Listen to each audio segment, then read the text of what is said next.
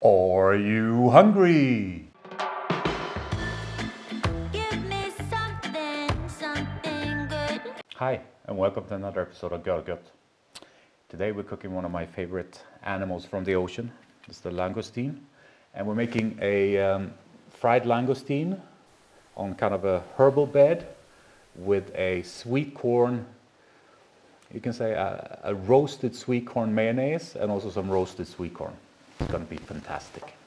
But before we have a look at all the ingredients, as always, do me the favor if you're not doing so yet and click that subscribe button and check the bell icon to get notifications. But now let's have a look on the board. Do we have some beautiful langoustines? I believe these are South African. The better ones are Swedish or Norwegian or Danish, but these will do. We have some uh, katsuobushi, two egg yolks for the mayonnaise, some oil for the mayonnaise, and some rice vinegar. We have our sweet corn. It's already cooked, boiled. So I'm just going to put it on the grill to kind of give it a nice smoky and roasted taste. And we have a nice mix of herbs. Now, get the herbs you like. I have some sorrel, some dill, some chervil, and some tarragon. And we're going to pick that and make like a really refreshing uh, herb salad. And we're also going to make it like a little vinaigrette with the oil and the rice wine vinegar. Obviously, you're going to need some salt as well, but I didn't have space on the board for the salt. But I'm going to start with uh, grilling off the, the um, sweet corn, and then we're going to pick the herbs, and we'll make the sweet corn mayonnaise, and the last step, we'll grill the, the langoustines. So let's start with the corn. When I come back, these will be grilled because it's quite boring to watch me grilling corn. So see you in a little bit. You are lucky. This will be a short episode because I forgot to turn the camera on when the corn was done. So I'll just tell you what I did. I obviously I grilled the corn. Once it got in, I cut off all the corn with a knife, and then I selected some of the pieces that stuck together to place the langoustine on top of.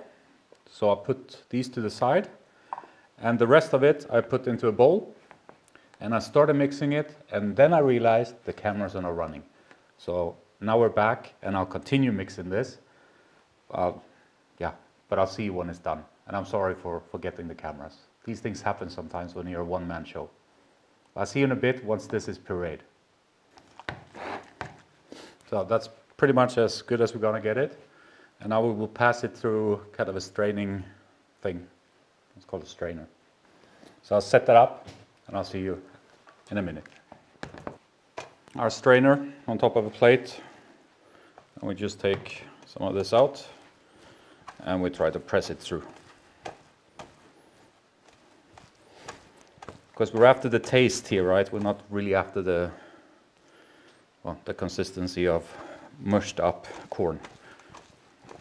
And this will take a couple of minutes. I'll probably start sweating a bit, so I'll see you once that's done. And I'll wipe my forehead. This is what you end up with once you're done. A really intense, sweet and smoky puree of corn. And this we'll use for our corn mayonnaise. So we'll start with the mayonnaise now. I'll just gather the things again. I put the egg yolks in here. Let's get in there with a good, two good teaspoons of the puree. A good pinch of salt and a half. We'll leave the salt there, we'll taste afterwards. I'll put the puree to the side. About a teaspoon, a little bit more of vinegar. We'll leave that here as well if we need more. And I will first mix this before we start adding the oil. So that's a nice homogeneous mass now. And now, as always with mayonnaise, slow at the beginning.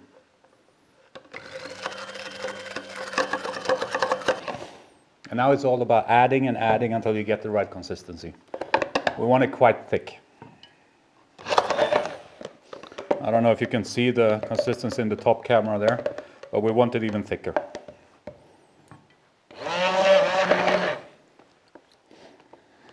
Let's do it.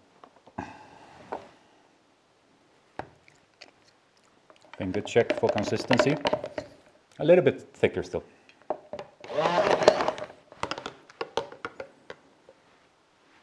Ah, that's pretty much it. Now it can stand by itself.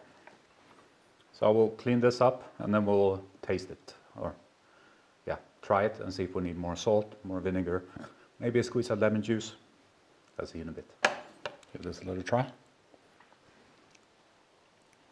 A little bit more salt. And I think I've add a little bit of lemon juice. Because the rice vinegar has a little bit of sweetness to it, like the sweet corn, but I want a bit more acidity. So we'll add some lemon juice and a little bit more salt.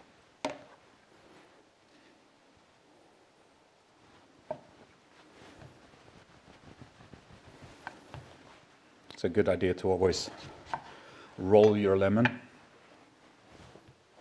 It releases some of the juices in it. And don't forget to squeeze into your hand if there's any stones. Like I got one now.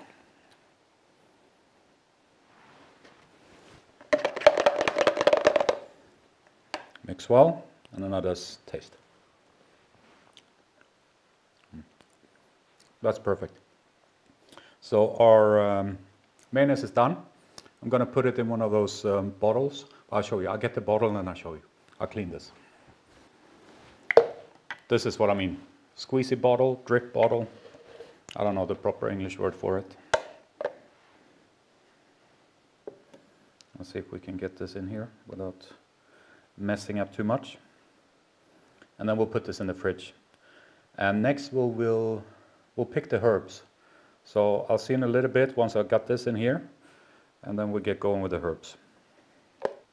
Uh, let's start with the sorrel. Uh, the rest of the herbs we'll pick by hand, but the sorrel we'll cut. Just get the stems off.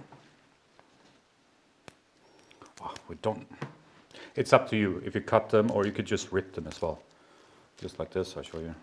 Just rip the stem out, and then we... That was actually quite nice. I think we might rip it. Has a bit more handmade feel. So we'll get everything up here. For me, this is quite a nice mix. I mean, sorrel obviously has a lot of acidity. Both dill and tarragon has a bit of kind of this licorice taste to it. So for the tarragon, we just pick the leaves off. It's just going to be a very kind of fresh salad. The same goes for the dill.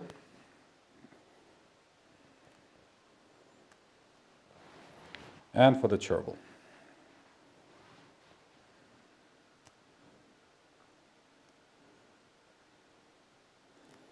I'm not going to bore you with watching me pick all of this. But I will do that. You do the same. And then I'll see you in, I don't know, maybe this takes 10 minutes. So I'll see you in a bit. We picked our herbs. I'm not going to need too much, so I'll probably make a herb oil of the rest, just to have. Uh, we're going to make a quick vinaigrette. Normally you would do like a 3 to 1 ratio oil to vinegar, but I wanted a bit more sour, so we're making uh, two and a half to one.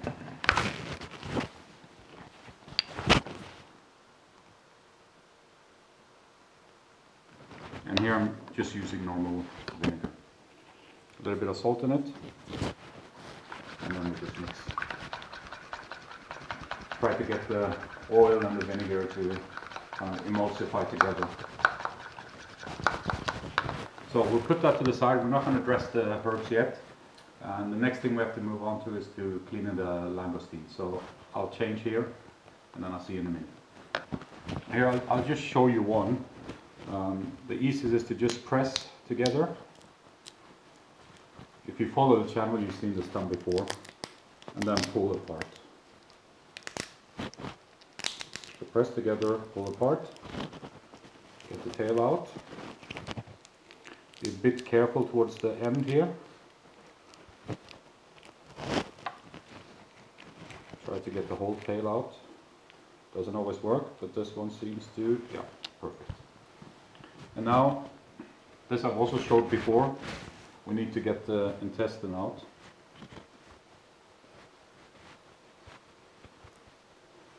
Sometimes you can pull it from here, but I don't see it. So we go in with a knife, we bend it, and then we go in and we try to find it.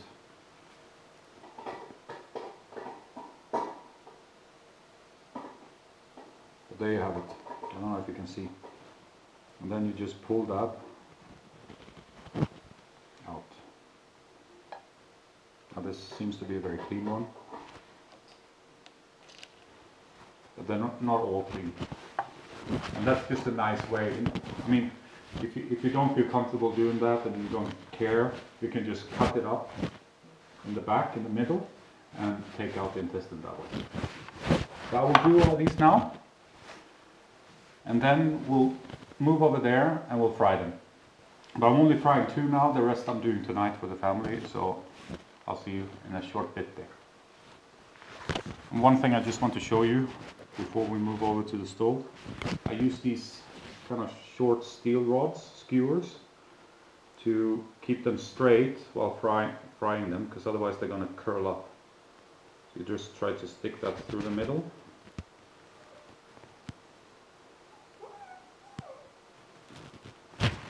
Like that. And then they're not going to curl up, so it'll look nice on the plate. But now let's move over there. Make sure that your pan is hot and that you patted the langoustines down with uh, paper so that they're really dry. Because if they're really dry, then it's going to stick much less. I salted them on the top and now we salt on the bottom. And this is not going to take very long. We want them to be a little bit glassy inside still. So maybe 20 seconds, 30 seconds on each side.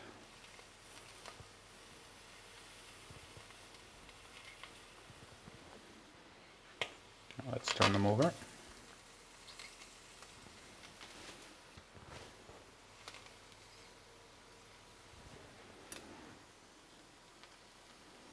We hold the tail down because as you see it's glassier than the rest.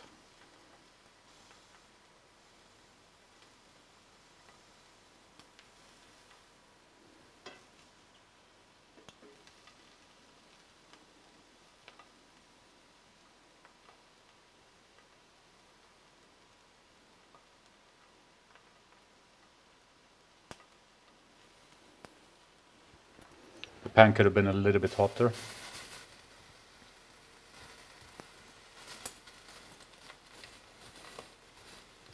It would just take a little bit longer. So I'm happy with that. Now we'll take them and I'll just make them a bit nicer on the cutting board, but I'll show you that. We'll just change camera positions. So we'll just take the rods out. And what I like to do is just to cut the top off. I think it looks a little bit nicer. And it gives me the opportunity to eat these. The only thing we have left to do is plating. But before we do that, if you stuck with me this far, there must have been something you enjoyed about this episode. So do me a huge favor, hit that thumbs up button below. It really helps me to spread or widen the audience and it allows more people to enjoy my episode like hopefully you're doing right now. So hit that thumbs up below. Now let's uh, get the stuff together and let's plate this. So first things first, dress our herbs.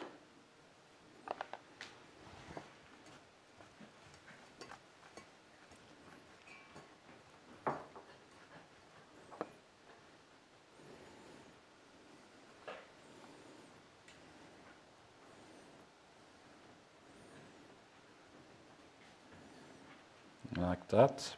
Put them on the plate. Next comes our sweet corn. And on top of that, our langoustines. And last but not least, our wonderful sweet corn mayonnaise.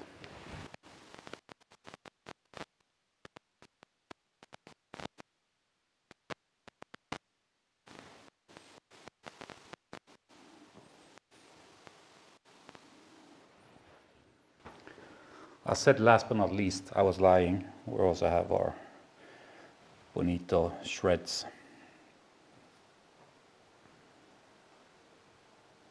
Not too much of them.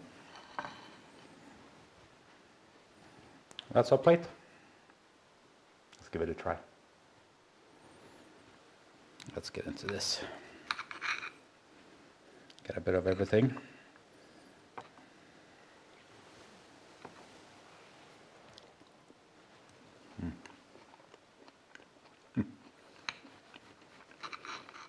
Oops.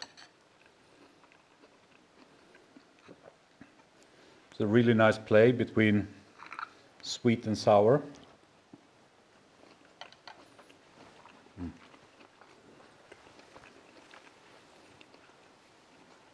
You have the wonderful like hint of sweetness in the langoustines. You have the relatively sweet but also a bit charred sweet corn. The sourness of the sweet corn mayonnaise, the sourness of the herbs, the saltiness of the bonito flakes, bonito strips.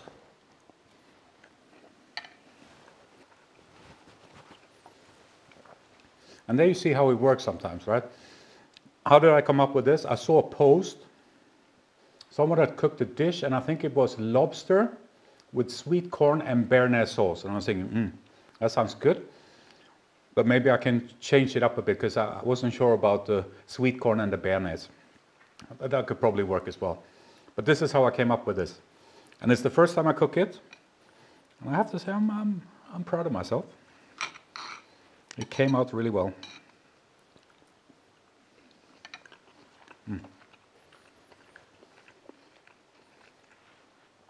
And I just love langoustines. To me, it's really the king of the ocean. But that's it for today. I hope you try it out, and I hope it tastes as good to you as it did to me. If you haven't done so yet, as always, please support me by clicking subscribe, checking the bell icon, hitting that thumbs button below, and leaving a comment. See you next time. Take care. Bye bye.